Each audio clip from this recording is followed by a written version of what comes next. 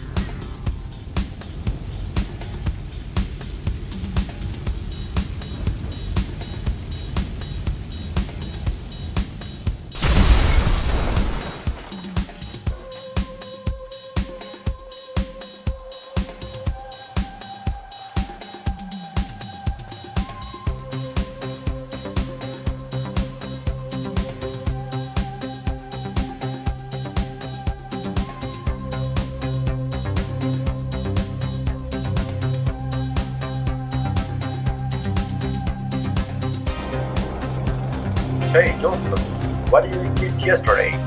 Please watch the video right now.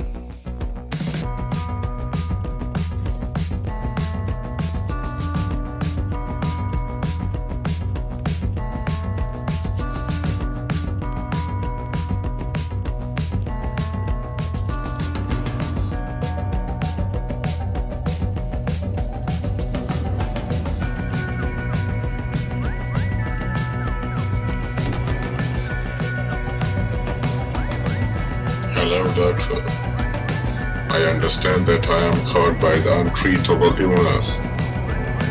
But my mind is moving toward the sea. What can I do now?